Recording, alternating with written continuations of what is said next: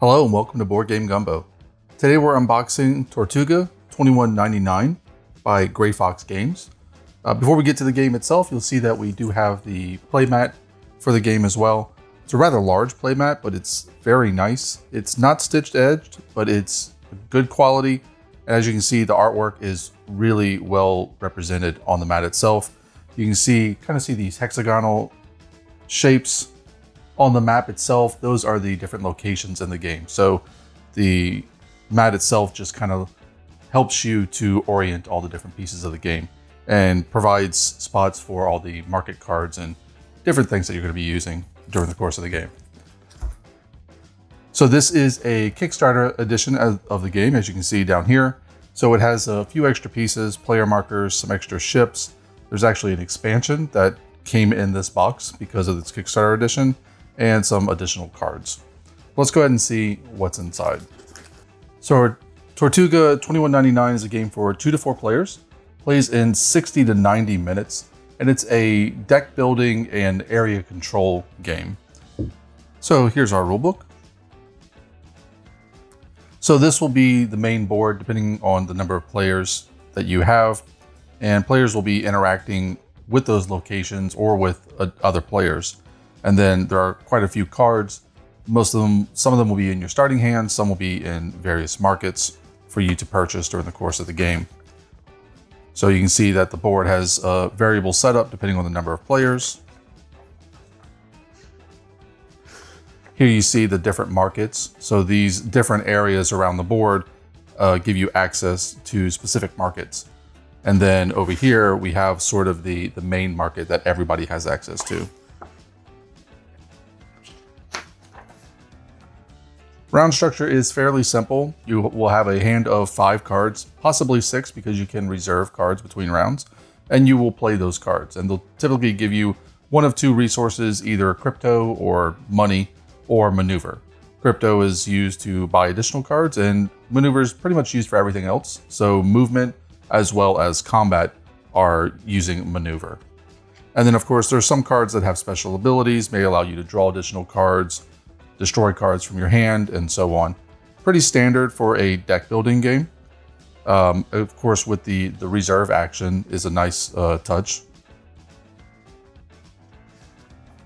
There are two ways to win the game. Essentially, if you acquire a certain number of influence, you will win. And then the other way is to control Tortuga, which is the center location of the board. And if you do that, every other player gets to end that round. So they get a equal number of turns essentially. And then if you have the most influence, you will win. Or really anybody who has the most influence. The person who controls Tortuga at the end of the game doesn't necessarily win unless they also happen to have the most influence. Little reference in the back, some optional rules, and that's it. Then we have our rulebook for our little expansion that came free again because this is Kickstarter edition, adds new cards, a new spaceship. Your spaceships do have uh, special abilities, which is kind of nice. So we'll take a look at those when we get to those components. All of our punch board for our different resources, pretty standard here. Everything punches out nicely. It's nice and thick. There's no problems there. We have here, these purple squares are hunt tokens. So there are monsters that you can go out and hunt throughout the course of the game, and they will give you a certain number of influence for defeating them. For instance, this one is worth two influence, but they're going to be face down on the game board. And the first thing you have to do is you have to go scout them, which is basically go to the location they're at and spin a maneuver to look at them and then you get to put one of your tokens on it saying you looked at it. And then from then on, you can go and try to defeat that monster. And you can see that there's quite a few of them, ranging from two maneuver all the way up to 11 to defeat. Some more resources here. These are just influence tokens. So again, that's one of the ways to win the game is by having enough influence. So here are all our ships and the rest of our components. You can see that the ships are quite nice. all in different colors, so easy to distinguish one player from another just at a glance. All unique sculpts. This is the expansion ship. So you have a retail copy and you want the expansion. This is the ship that'll come with it. And then we've got a few more as well. These aren't highly detailed, but I think they get the job done and they're going to look really nice on the board. Then we have all of our tiles. So this will make up the game board and there's pretty much a, a set um, way to arrange these depending on player count. You can see that some of the spots actually have are double layered because they have little tokens that will sit in there and those tokens you can gain throughout the course of the game. So for instance, this is a one influence token. You control this area, you have this token unless somebody takes it from you. There's also a credit token, which essentially just gives you one money that never goes away. However, you'll notice that there are numbers on the outside of these tiles. That is how you control an area. So say I was the first person here and I want to take control of this area, I have to have spend three or more influence. And then I'll put one of my cubes here, denoting that I've taken control of it. Now, some player could come along and try to take it from me, but now they have to spend four maneuver. And that's assuming I'm not there, because if I am, obviously I'm going to defend my territory. Uh, the tiles are nice. We've got a little discoloration around the edges. Uh, it's not major, but it's somewhat noticeable. As you can see, there's quite a few different little special powers to these areas. They're not all the same, and they do have different levels to control them. Then we have player pieces here. So these are essentially um, player markers that you will use to designate when you have done something. So this one this light blue one would obviously belong to the player using this ship. And so for instance, if you take over an area, you'll put your little guy there. And if you are scouting a hunt tile that's on the board, you put your little guy on top of it. Now these are part of the Kickstarter edition. You can see that there's about a half half dozen per color. If you have the retail edition, these will just be cubes, essentially, instead of these little turrets. And then the rest are all of our cards. This is a deck building game, so of course there are quite a few cards to look at. So we have cards for a couple different things. There's of course the main market, and there's also those little side markets, side locations that have specific cards to them, but we also have cards for the ships, which are right here in front. So again, all the ships have a special ability. The Stingray here allows you to reserve a card from your hand and draw a card to replace it, essentially. If I can get my camera to focus real quick. There we go.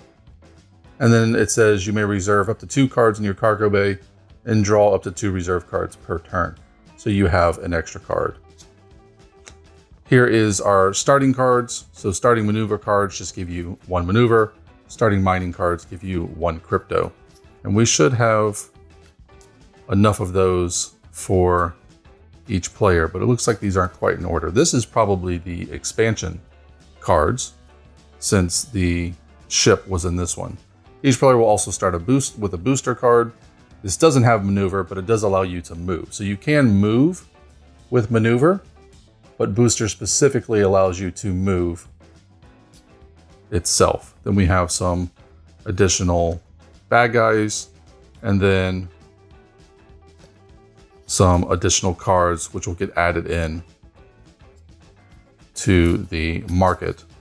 And again, this is the expansion pack. And finally, a little cheat sheet. Let's see what else we have. So this is going to be our main deck of cards for the base game. Again, maneuver and mining cards, as well as booster cards for each player, and then the different ships in the game. So here we have the sailing ship. There we go. Has extra movement. The galleon gives you a credit and lets you draw a card. Humpback gives you a maneuver. This one lets you discard a card from your hand, or probably means destroy actually, and then draw a card. And then here are some basic market cards. You can see the cost in the top right.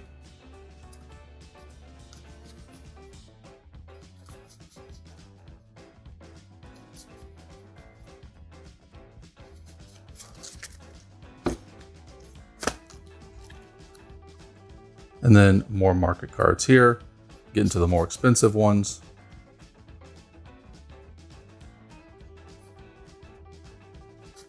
And then as you get into the higher cost ones, there are less copies of them.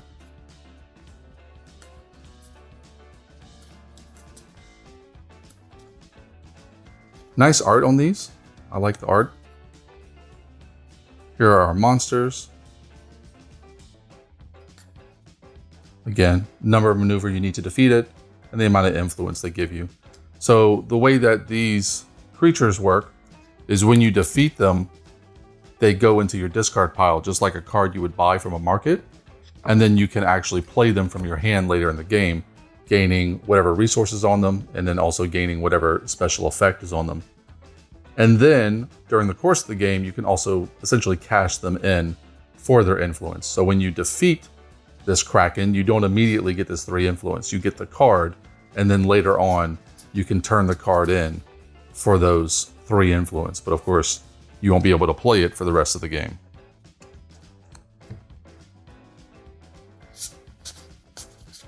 Here are the specialty market cards. So this is one of the special markets. You can tell because it has the V. And then another separate market has the R.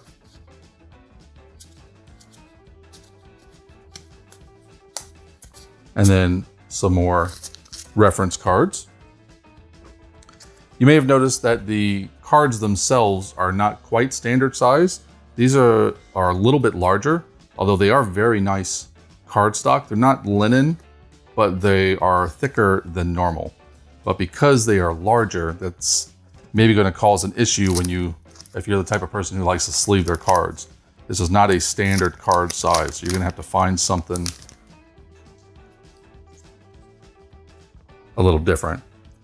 Then we have the little expansion that was included. So this is uh, optional material, but you can purchase these cards while in the, the T sector. And again, that's why they have the letter on them.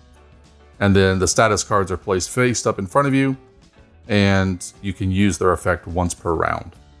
So these are like additional powers that you can get throughout the course of the game by purchasing these cards. So this one gives you extra maneuver when you're specifically defending. Extra credits when you're reinforcing a sector and so on.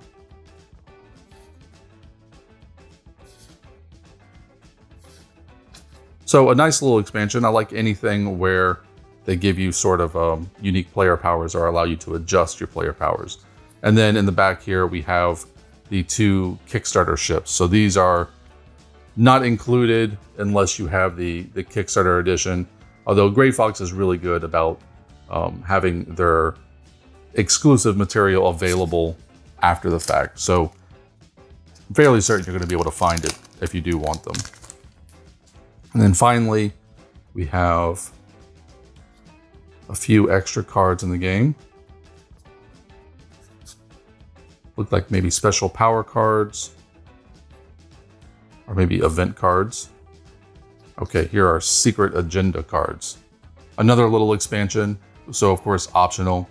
and you're going to get one of these, um, and then you can play them essentially for their power once per game. So that's it. That's everything you get in a copy of Tortuga 2199 from Grey Fox Games.